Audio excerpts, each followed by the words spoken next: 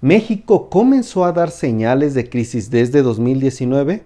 La respuesta a esta pregunta nos la da Fabián Girardelli, country manager de Cantar World Panel en Cantar México. Bueno, les voy a contar sobre nuestro Consumer Insight. ¿Qué es lo que aprendimos? Es que en el año 2019 los hábitos de compra cambiaron. Ya no mostramos los hábitos de compra que veníamos mostrando hasta el 2018. Empezamos a mostrar algunos hábitos asociados a temas de crisis.